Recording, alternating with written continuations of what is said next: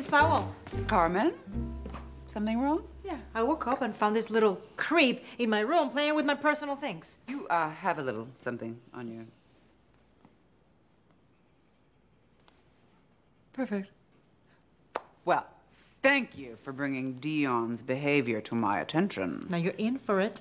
You listen to me, young man. You need to get your things together because the car is waiting to take us to Disneyland.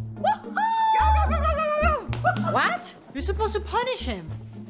Well, I can't very well punish the child and then take him to Disneyland.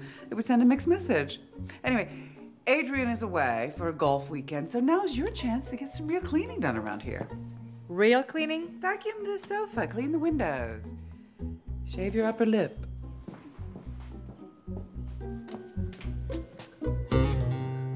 Son of a bitch. Made for Mondays. Devious Maids. All new tonight at 9 on Lifetime.